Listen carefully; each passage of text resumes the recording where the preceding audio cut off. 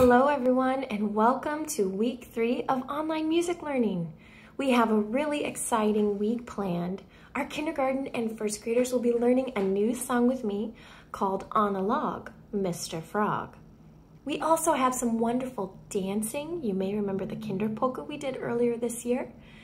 And you'll be going on a musical scavenger hunt around your house, looking for different sounds you might find. Have fun with that.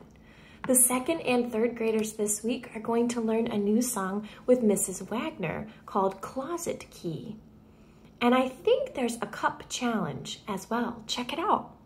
And um, some of the second and third graders are familiar with Ika Soda Cracker, which you might have seen on my YouTube channel earlier in March.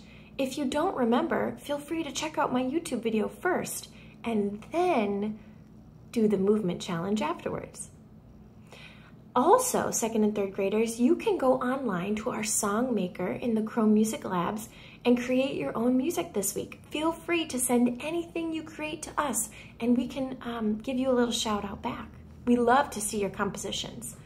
Fourth and fifth graders this week, we're gonna warm up our voices with some of our articulations we learned earlier this year. Smooth singing, which is called legato, and short, choppy, detached singing called staccato. Very good.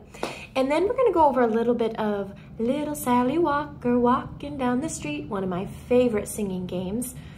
Um, challenge this week for you is Bim Bum with the motions. Bim Bum, Bim Bum, Bitty Bitty Bum. And finally, we would like for you to go on a musical journey by interviewing somebody either in your house, a family member, or using Zoom or Google Hangouts, or just a phone call, interviewing a friend or family member about their music experience too. Have fun with that, everybody, and we'll see you next week.